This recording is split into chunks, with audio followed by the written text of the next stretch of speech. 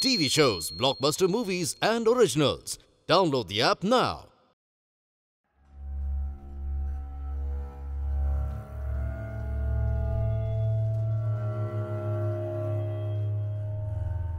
खान साहब ये क्या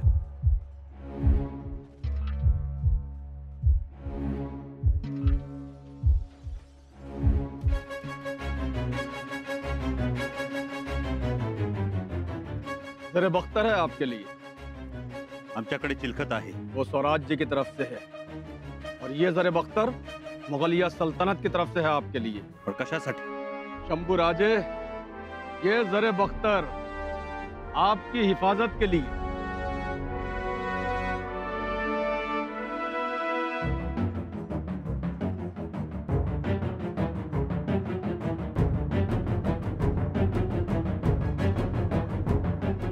शंभू राजे आज तक आपने जितनी लड़ाइयाँ लड़ी हैं वो स्वराज्य की तरफ़ से लड़ी हैं। लेकिन आज से आप मुगलिया सल्तनत के लिए लड़ेंगे। और हम ये चाहते हैं कि जरे बख्तर पहनकर आप हमारे साथ मैदान जंग में उतर जाइए और मुगल सल्तनत के लिए जंग कीजिए।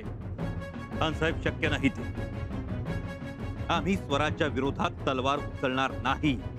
हे आधीच सांगितलंय तुम्हाला हवं तर आज पुन्हा सांग। हमने सब सुना है शंभू राजे, और अब हम सुनने नहीं, सुनाने आए हैं।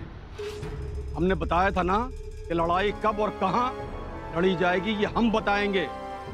वो है आज का दिन, ये वक्त, और ये जरे बख्तर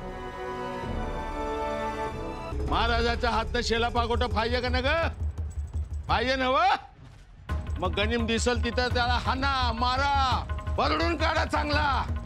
लहान गेला दांड गेला. झोडपून काढा अक्काचा अक्का? ऐका लहानात किल्लेदार किल्लेदार। बोल धडा धडा जा धडा धडा। किल्लेदार मावळतीच्या अंगाला तटबंदीला सुरुंग लावलाय? कुठं? अख्ख्या तटबंदीला. हाय. वय वय. अरे देवा घनघोर युद्ध सुरू आहे भूपाळ गडावर. तिरंगोजी लढणार? मला नाही वाटत ते तग धरतील. एवढी चाकणची गडी लढवली. मोरोपंत बरोबर बोलतात दिलेर खानाकडं भारीतल्या लांब पल्ल्याच्या भल्या मोठ्या तोफ आहेत.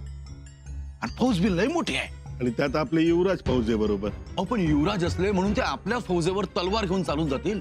असं आपल्याला लय वाटतंय का नाही जाणार? पण मैदानात काय घडल ते नाही सांगता याच पण माझं म्हणणं काय आहे?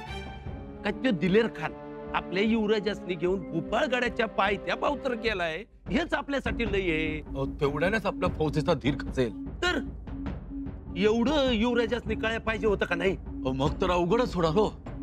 अवघड म्हणजे?